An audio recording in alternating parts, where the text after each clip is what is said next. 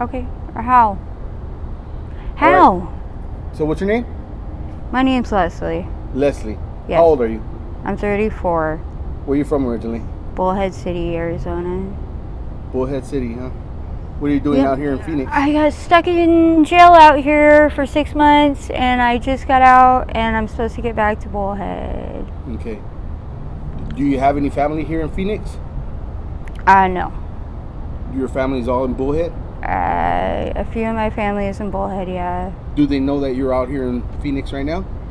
Um, no. I wasn't able to tell anybody that I was going to jail because it was something real stupid. How long have you been out of jail?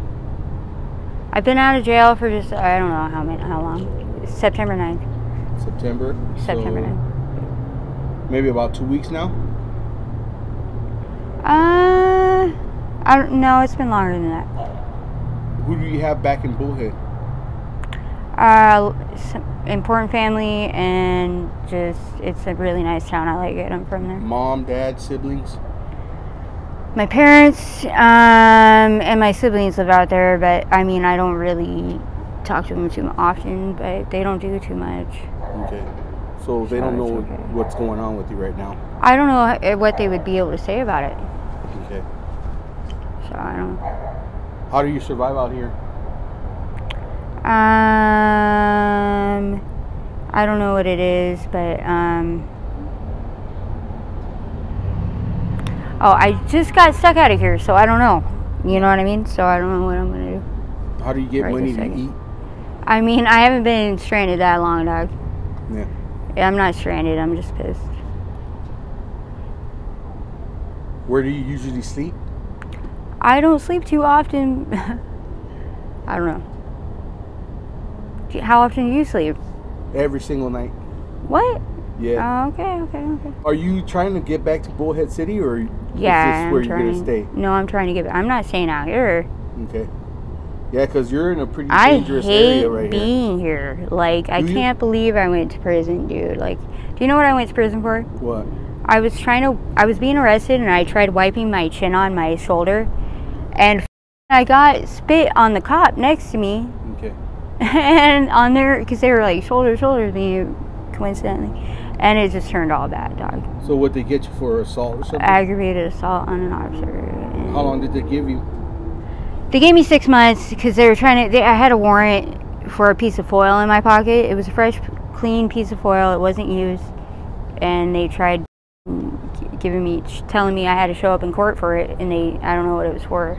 I mean, that's not necessarily. So you got a failure to appear? I don't know. I had a warrant for it. I didn't go to court because it was so stupid. It didn't make any sense to me. Yeah. Because I mean, it wasn't a used piece of foil. I didn't have any on me. I just couldn't believe I got in trouble for it. And that was back in Bullhead City? Yeah, I just couldn't believe I got in trouble for it. They wrote me a ticket and I couldn't believe I got in trouble for it. How do you plan to get back? Um, I don't, I don't know. Do you need a phone so you can contact maybe a family member or something? do you remember I'm so numbers? spazzed out of my. I know every all their phone numbers. I'm just so so spazzed out of my mind that this is happening to me right now that I don't even have energy to move around and think about it because I just can't deal with it. It's not sad. It's just like I know too much. So I just it's just it's like fuck. What am I gonna do with that? Yeah. Yeah, I have dissociative disease. It fucking harms my psyche to associate things with things because I don't like bringing things up unless I bring them up. I'm a real quiet, private person. I just associate everything. What were you doing right now? Were you panhandling? No, No. no, definitely not. I would. I don't think I would panhandle like that. So, what do you think of some of the people that are out here? That's crazy. Yeah, it- it is. There's a bunch of people out here. Why is there so many people out here? like doing weird, Yeah. running around looking weird and doing weird shit. I don't fucking know. Is it like that out there in Bullhead City? No, not at all. Never. Not even. There's not even that many people out there. Did you have a house when you were living out there, or were you homeless? I mean, I, it's a real small town. Um, it's such a small town. You'd have to see it to believe it. It has a river and everything. You'd Well, I've been through to there. I, I usually go to the Colorado River. I go out there a lot. okay. It is the nicest place in the world. like, you know what I mean? It is so nice. It's so small. You It, grew up there? oh my god. I Oh. mean, since I was 12, yeah, I've been stuck out there and I haven't moved around too much, but I've always been like a straight line and I've been there, so I was all right. How was it like growing up out there in that small It town? was fine. It was a lo- it was lonely, but I didn't really. I have dissociative disease. I don't hang out with people. I don't bother people. So I was by myself a lot. But since I was 12 and I've been all out there always, I've, I've always kept my eyes open. Yeah. Yeah, and it worked out real well for me. So. Whew, yeah, it did. it did. It, Hmm. it seems like not, but it really did. And I just don't want to talk about it. Yeah. Yeah, I love Bullhead City. You have bad really memories? No, I don't have any bad memories at all. I was totally fine the whole time. Yeah. Maybe I wish that I was like, oh no, I don't wish anything, dog. I was fine. I minded my business and I fucking didn't try. I didn't try hanging out with anybody or telling anybody about my business. I don't like people around. They change up things and they make people unhealthy. Yeah. People bring trouble. People make people unhealthy. It's horrible. Have you tried going to a shelter out here? No, hell no. No. No, they don't even have shelters in Bullhead. They like don't? they don't need them out there. It's like what about so right here small. though in Phoenix? It is so small out there that they don't need them. Like you know what I mean? Yeah. It's fu- it, it, it's perfect.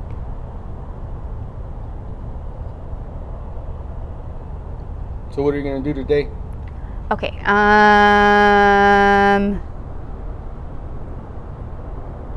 Yikes. Okay. Um. I'm gonna wait around. I don't know what I'm gonna do right now. My mind's so from trying to have to think about getting back home because I should already be back home. Yeah. And I already got out of jail and went back home once, and then I went back to jail because I was a parole violator. So it was so stupid. How long did it take you last time to get back home? Not long. I mean, I got home so fast the first time that I got released that it wasn't even funny. It didn't take me very long. It was like walking distance almost, and it's not supposed to be walking distance. How'd you end up getting there though? Like, did you get a ride from a person out here or what? I went to the. They dropped me off at the Gatetown station. The jail did, Oh, the jail. and I fucking got a ticket from. Why didn't they do that for you this time?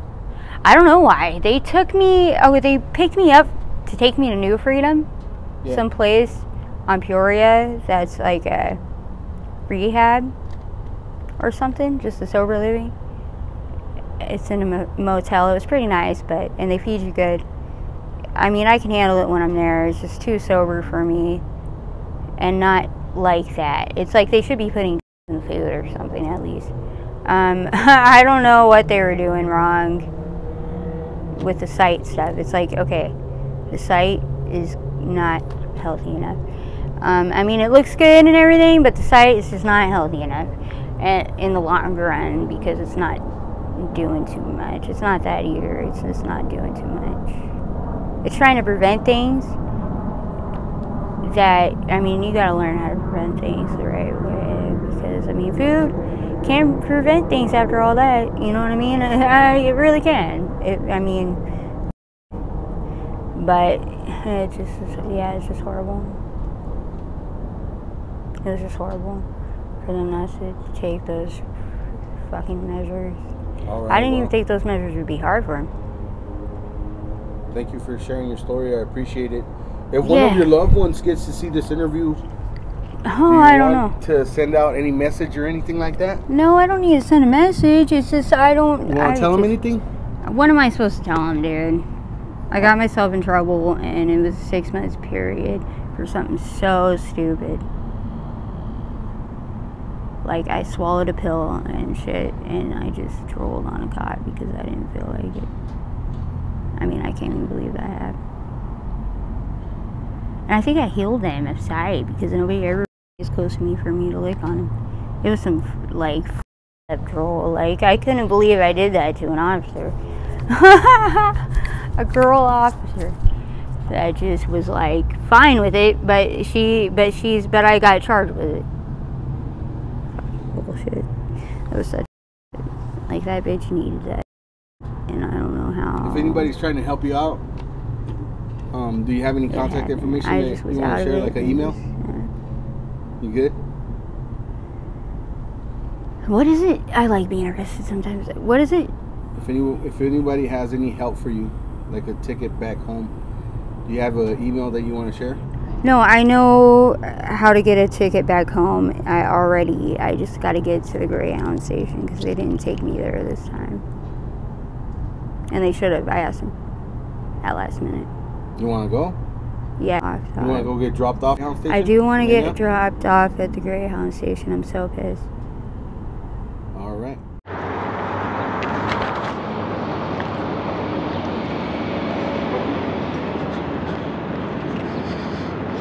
Are you excited to go back home? Yeah. That's good. Let's go get the ticket.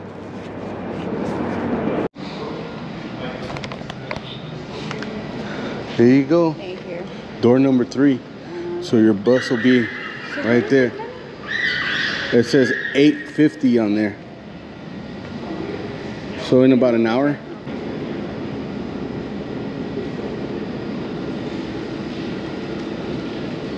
Maybe you could grab a seat. You want to grab a seat? Yeah. Mm. So right here.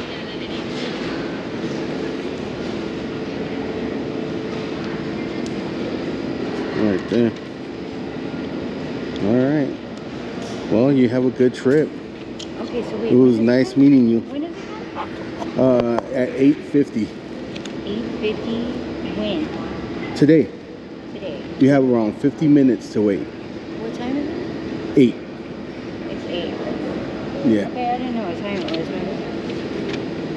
Oh, I have to be forcing thing. It's less than an hour. It's not that bad. But at least you'll be home today. Oh, All right. You take care.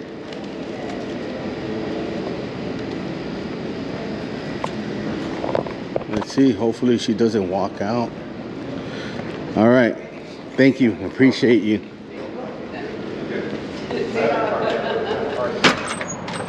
Hopefully she doesn't walk out and doesn't use that ticket because sometimes you want to do like go the extra mile for these people but you don't know how mentally stable they are so if you go out there like i did right now you come all the way out here i think it was like 31 minutes away. You come 31 minutes away you buy the ticket the ticket's 50 bucks and then they end up walking out of this place and you wasted all that time and money for nothing. So i hope she does the right thing. All right guys. See you guys on the next video